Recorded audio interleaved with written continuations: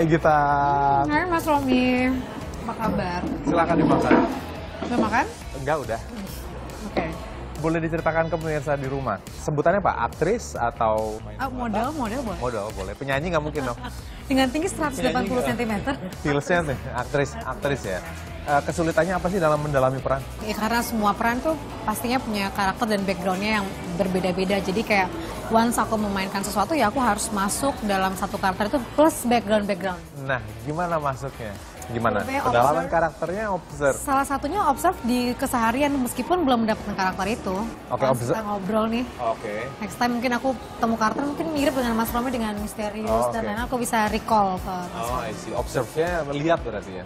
Pernah nggak observe-nya auditory? Dengerin ya maksudnya visual, audio dan lain-lain artinya. Kalau tadi lagi di meja makan, lagi asik-asik makan, tiba-tiba Mas Romi datang itu sebenarnya ngajakin untuk kayak games yang dia membaca apa yang aku pikirin.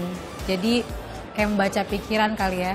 Eh, kita coba sebuah eksperimen berhubungan dengan pendalaman karakter juga tentunya. Eksperimennya sederhana. Eh, tanya dibuka. Yes. Saya bawa kamus. Wah ini kamu tak terlihat ya. Eh, kamus Invisible Dictionary. Buka di mana aja. Ada berapa halaman tuh kira-kira? Kira-kira 578. Berarti ada berapa ribu kata? Wah 2000 kata ya. Banyak dong. Banyak banget. Kalau kolom kiri kanan digabung banyak dong. Oke. Ngomong-ngomong, kamus bahasa apa ini? Bahasa, eh, Bahasa Indonesia kamu. bahasa Indonesia. Tutup dulu kamusnya. Saya mau kamu cari satu kata yang ada di pikiran kamu, cari di kamusnya, kemudian cari definisinya. Ya, kan ada definisinya apa gitu ya. Oke. Dibuka. Udah? Udah ya? Cepet ya?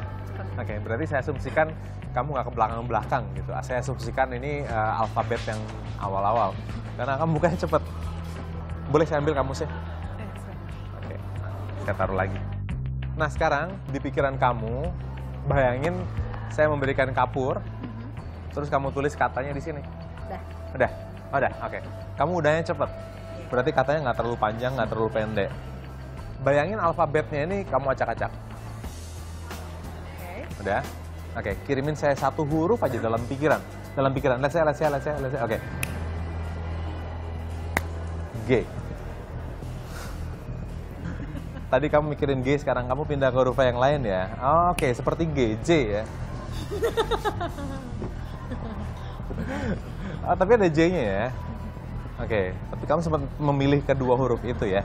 Oke, sekarang ini tulis lagi seperti awal, jangan diacak-acak ya. Huruf vokalnya sekarang. Eh, saya akan sebutin huruf vokalnya, kamu cukup bilang enggak, enggak, enggak, enggak, bohong. Oh, Oke. Jangan beraksi ya. A, Enggak, I, enggak, U, enggak, E, enggak, O. enggak. Kayaknya udah dapat. Sekarang huruf matinya. Nah, ini lebih susah. Eh, taruh tangannya di sini. Sekarang huruf matinya. Jangan jangan bereaksi. B, Enggak, C, enggak, D. enggak.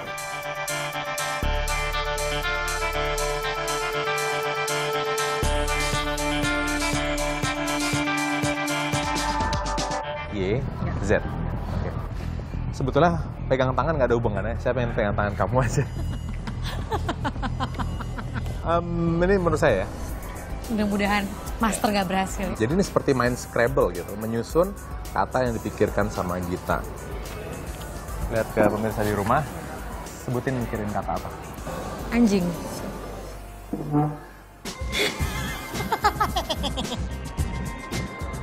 Sekarang saya ajarin caranya.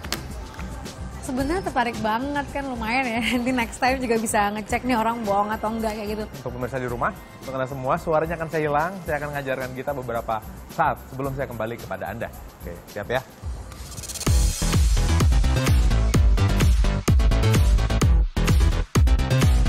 Terus waktu diajarin ternyata memang sulit tapi tidak sesulit itu.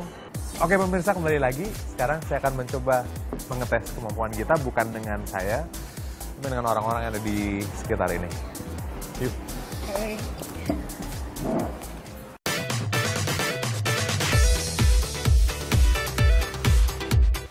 Ada orang? Oke. Eh, permisi. Halo, boleh minta waktunya 5-10 menit. Buru-buru. Oke. Eh, bentar boleh sebentar 5 menit, 10 menit. Sebentar aja Mbak. Soalnya mau jemput anak sekolah. Nggak lama, nggak lama, nggak lama. Mau ngapain? Mau mau mau telepon seseorang. Nah, ada yang bisa ditelepon saat ini kan? Ada. Siapa aja gitu. Nah, em, telepon orangnya nanti di speaker. Oke. Kita ngobrol sama orangnya itu di telepon. Iya, That's it gitu doang. Ayo. Ada pulsanya dong? Ada, ada, ada. Ada. Unlimited. Unlimited boleh. Silakan ambil handphonenya. Di speaker ya, nanti di Iya, iya. Suami Iya. saya aja deh. Halo. Halo, Dede. Ini eh, Mas Romi Rafael mau bicara katanya nggak tahu ngomongin apa. Halo. Oke, saya mau Bapak pikirin satu kata. Oke, sudah? Saya akan sebutkan huruf vokalnya. Apa pun huruf vokalnya bilang tidak. Oke, Apakah ada huruf A, tidak, I, tidak, U, E, tidak, O? tidak. Udah dapat? Sepertinya sih. Sekarang fokuskan ke huruf matinya. Tetap bilang tidak. Apakah ada huruf eh, B, Tidak, C, tidak, D?